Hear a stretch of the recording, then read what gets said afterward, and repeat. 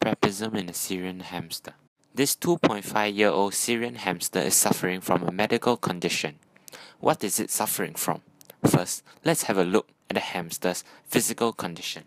This is a Be Kind to Pets veterinary educational video sponsored by Toa Payoh Vets. Second case is quite an old Syrian hamster.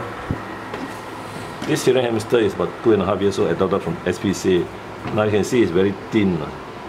It's all bones actually. That uh, he wasn't eating much, but he still looks good. Yeah, the coat is pretty, quite good coat. Yeah.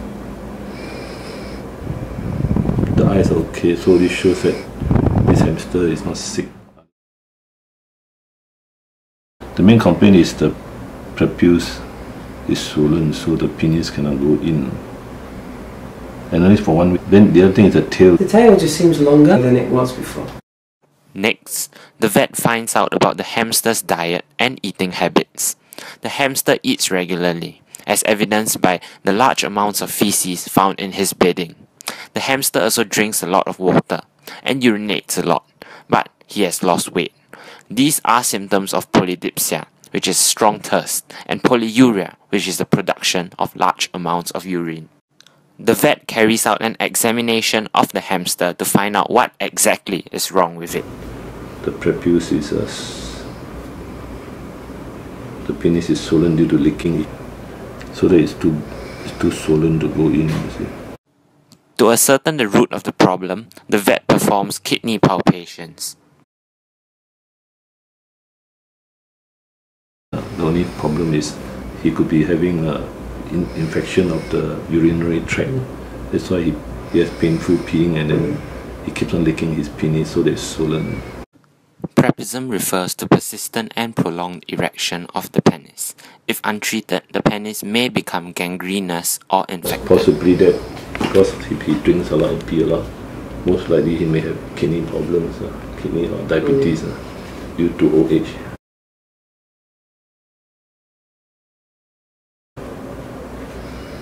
This one we can give you the anti-inflammatory painkiller to bring down the inflammation. Hmm. Keep on giving antibiotics.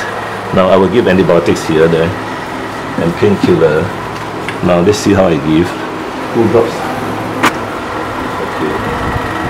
Two drops. No, I miss, miss the, the two drops out. Best you put to the set. Two drops, right?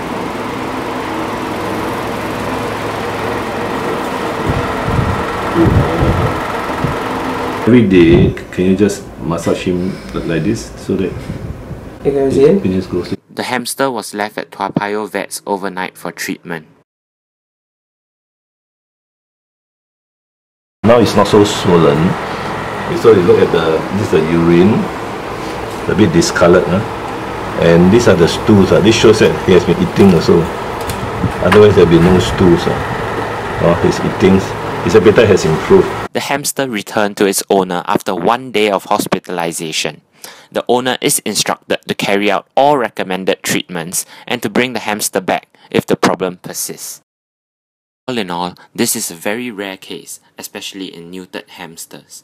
While the main cause of its thinness may be due to the urinary tract infection, it is also possible that it is caused by other reasons. For example, old age leads to decreased appetite and longer teeth, causing difficulty in eating, or kidney diseases.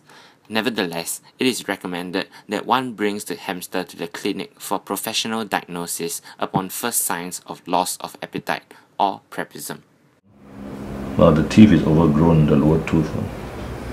Huh? That could be one reason he is not able to eat. Uh, normally see the teeth that is overgrown. They curl upward, curl up, upwards to his hard palate. No? I have already clipped short already. huh? Otherwise, he can't eat because it's, it was about another four millimeter long.